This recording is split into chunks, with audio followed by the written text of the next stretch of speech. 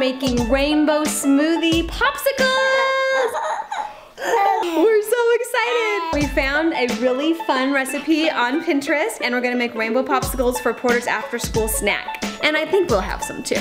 Let's get started. So we're starting out with our green smoothie part of the popsicle because I know if I make this now and make extra of it, I can give it to them and they can kind of hang out with that while I do the rest of this project. I, am I'm, I'm trying to follow her recipes on here for the different colors, but I'm not sure if I have everything that she has, so I'm just kind of winging it, going off of what she does, but using my own ingredients that I do have at the house. I like that, I like that, I like that. You do? No, I like that.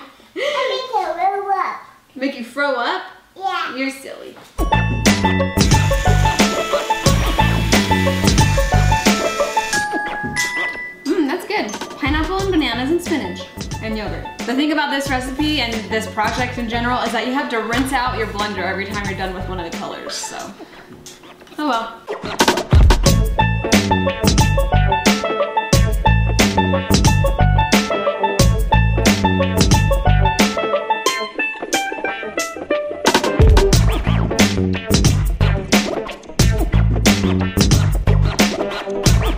Okay,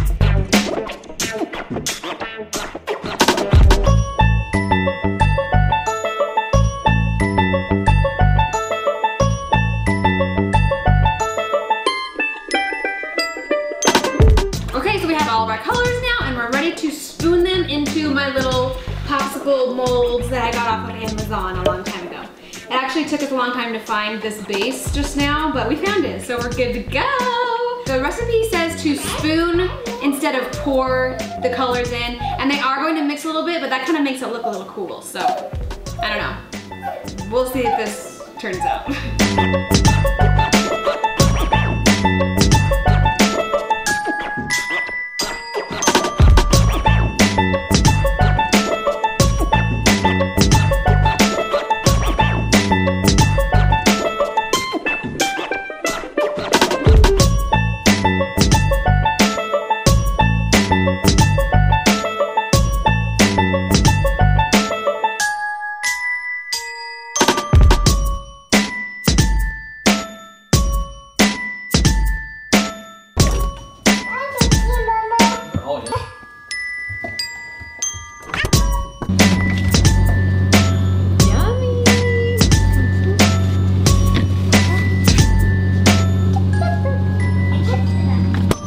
And those can melt.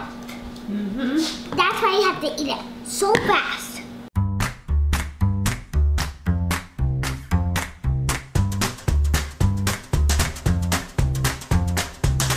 Mmm, shit. Have I? Mmm. Is that Mhm. What color does it have in it? You tell me. Mm-hmm. Rainbow. What? Rainbow. Rainbow, rainbow popsicle, that's right. Okay guys, this was a major success. These are so cute. I normally am not very good at making things look cute. It's just, but these turned out really, really cute. Some tips for this recipe, definitely spoon in the smoothies, the different types of smoothies you make into the um, popsicle mold like one spoonful at a time. And really if you if you're gonna have like five or six layers you really only need one spoonful maybe one and a half. Otherwise it fills up way too fast and you don't get to use all your colors. Other than that pretty much just blend together whatever fruit and yogurt you want. The blue I had to use food coloring because there's not really a lot of fruit that make this color of blue. So that was the only like fake thing about this but it still looks good. I like the way the blue turned out. And yeah, other than that, it was really, really easy and yummy. Ooh, that's a good one. I like the purple.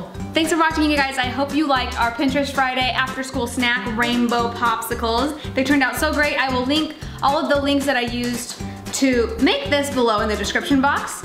And yeah, make sure you guys stay tuned next week for our another Pinterest Friday. It's gonna be lots of fun. We'll see you guys tomorrow. Six inches long, and this is not six inches. It's more like this. so I'm gonna say the baby is about the size of a green bell pepper, and even still, I have my tape measure out, and this is only like This is only like five inches long.